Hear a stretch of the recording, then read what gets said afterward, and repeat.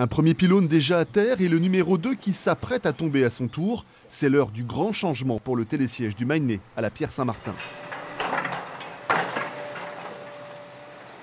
Une entreprise spécialisée est sur place depuis quelques jours pour le démontage de la gare de départ, du télésiège et du téléski adjacent. Tout un symbole pour la station avec la transformation de cet équipement historique.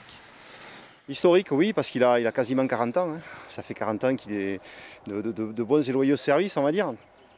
Donc voilà, ben, il est démonté. euh, il faut rebondir maintenant et puis euh, voir un petit peu ce qui va se passer dans les années à venir. hein. Et je pense que la restructuration de cette partie du secteur est hyper importante pour la station, hein, bien entendu. Car ici, l'investissement est conséquent. 24 millions d'euros du Conseil général pour redonner du souffle à la station. Deux télésièges vont être remplacés par un 6 places et un 4 places ultra moderne.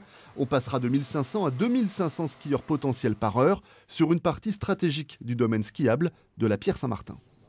il faut se mettre au niveau, obligatoirement. En termes de, performance, bien entendu, euh, en termes aussi de confort des installations. Mais il n'y aura pas que ça. hein. Il y aura bien sûr les, les remontées mécaniques, mais il y aura aussi euh, le remodelage complet de, de l'ensemble des pistes qui seront desservies par ces remontées mécaniques sur ce domaine-là. Donc euh, quasiment là aussi 50% du, du domaine skiable remodelé. Les travaux vont durer plusieurs mois. Ces remontées nouvelle génération seront en place pour la prochaine saison. Et si